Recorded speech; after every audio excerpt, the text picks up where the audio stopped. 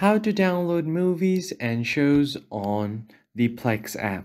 Hello everyone, welcome to another tutorial. In this video, I'm going to be showing you guys how you can easily download some movies and TV shows from this app right here. But before we get started, I want you to head down below to give this video a quick thumbs up and hit the subscribe button as well. So the first thing that you need to do here is download the application from Google Play Store or App Store. And once you download the application, you are just going to open it up and sign into your account. So from here, what you want to do is go ahead and um, log into your account.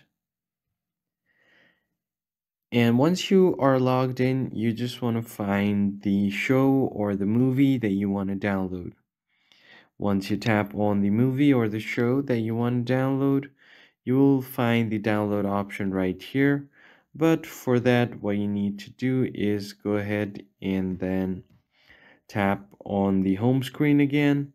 Once you get back to your home screen, just tap on the hamburger menu or the three dots at the top right corner.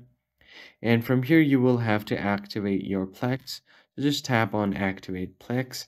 And once you upgrade to your Plex uh, pass, you should be able to unlock the app, download all of the media to your device, and get advanced user controls. So that's pretty much it. I hope you found it helpful. I'll see you guys on the next one.